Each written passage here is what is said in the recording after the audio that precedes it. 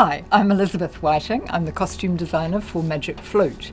This is my assistant, Lisa Holmes. This is an example of one of our designs. We get the um, brief to design Magic Flute usually about six months in advance, so we have some time to brainstorm.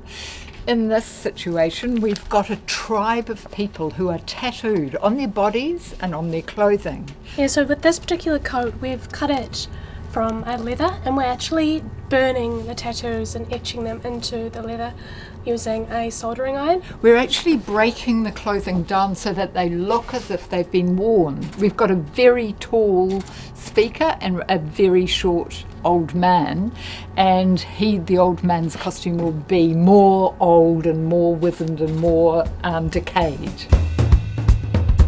We also have tattoo on another character, um, so it's sort of an, an ongoing theme but quite a different look.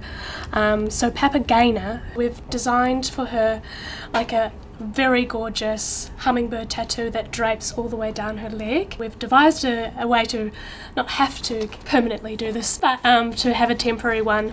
So we do have to test out these things, and unfortunately, there's not many willing participants around. So I, I um, offered my thigh as a, a uh, a tester for the tattoo, so I did go around for a couple of weeks with this on my leg and uh, surprised a number of people with my new tattoo.